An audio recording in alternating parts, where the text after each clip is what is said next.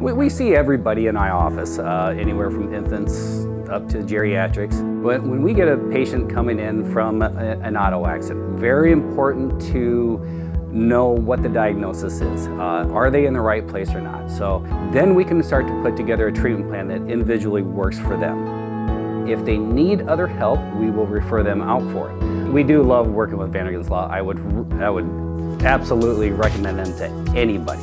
Uh, all of our patients, any kind of PI cases, work comp, that all, they work fantastic for our patients. Uh, just makes our job and the patient's life so much easier.